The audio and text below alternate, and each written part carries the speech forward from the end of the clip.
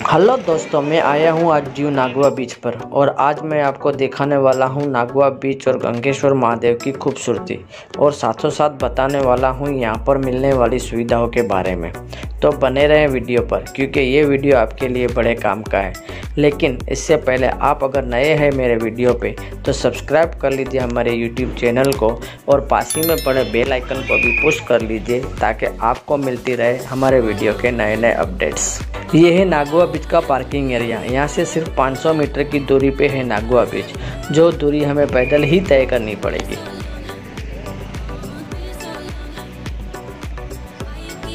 Nagwa beach पे जैसे ही आप एंटर होंगे तो सबसे पहले आपको नज़र आएगा ये सिटिंग एरिया, जहाँ पर आप घंटों तक अपनी फैमिली के साथ बैठ के समंदर की लहरों का लुत्फ उठा सकते हैं और यहीं पे बैठ के ब्रेकफास्ट और लंच का मज़ा भी ले सकते हैं।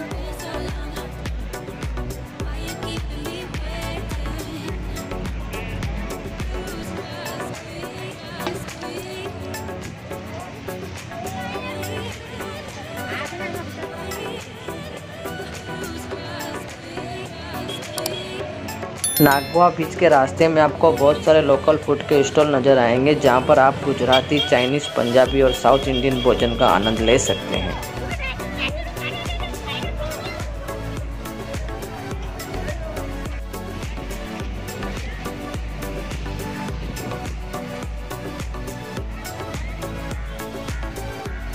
Welcome to my YouTube channel मेरे पीछे जो आप ये खूबसूरत नज़ारा देख रहे हैं, वो है नागवा बीच व्यू का।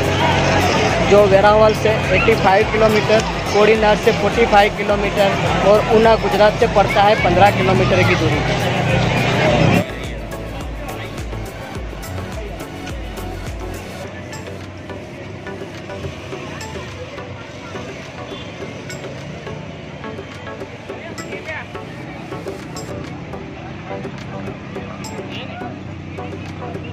आप अगर दीव में घूमने की सब जगहों के बारे में जानना चाहते हैं तो इसके बारे में मैंने प्रॉपरली एक वीडियो बनाई हुई है, जिसकी लिंक डिस्क्रिप्शन बॉक्स और ऊपर आई बटन में आपको नज़र आ रही होगी। आप वहाँ जाकर भी उसे वॉच कर सकते हैं।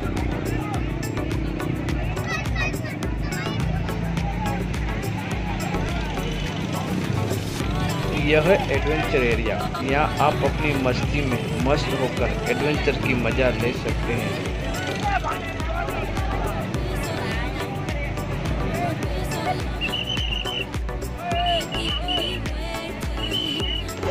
दीव नागवा बीच पे आप speed boat banana ride, bumper ride और पैरामीटर फ्लाइंग का भी मज़ा ले सकते हैं, जिसकी प्राइस आपको सामने स्क्रीन पे दिख रही है।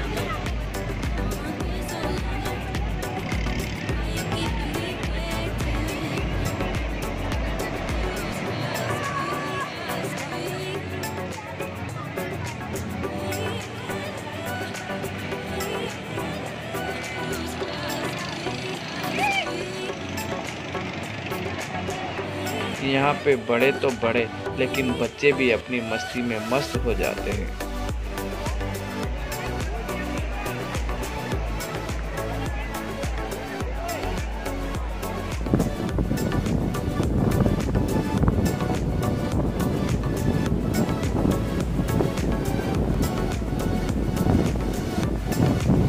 इस वीडियो में मैंने ड्यू के दो पॉइंट को कवर किया हुआ है। और आने वाले वीडियो में मैं ड्यू के और भी पॉइंट्स को कवर करने वाला हूँ और आपको नए नए अपडेट्स देने वाला हूँ। आपको अगर ये वीडियो पसंद आए तो लाइक करें शेयर करें और मेरी चैनल को सब्सक्राइब करें। इसीलिए तो सब लोग कहते हैं कि दिल्ली देखा मुंबई देखा पर दीव नहीं देखा तो कुछ नहीं देखा।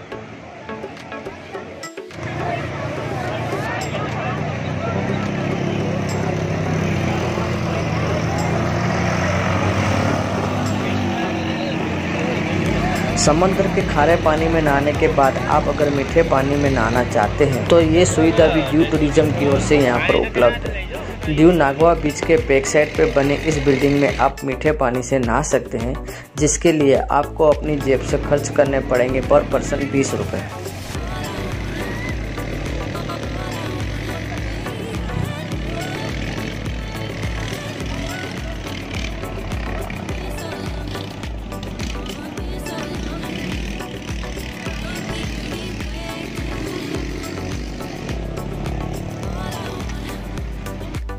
नागवा बीच के बैक साइड पे ये बिल्कुल नया फ़ूड जोन खुला हुआ है। यहाँ पर भी आप चाय, नाश्ता और सॉफ्ट ड्रिंक का आनंद ले सकते हैं।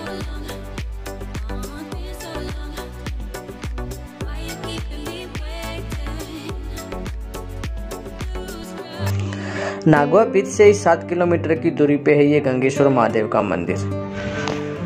पाँच शिवलिंग से बने इस मंदिर में शिवलिंग की पूजा अर्चना और अभिषेक खुद समंदर देवता आके करते हैं। के 24 घंटे और साल के तीन सौ पैंसठ दिन समंदर के जल से अभिषेक करता हुआ ये गंगेश्वर महादेव।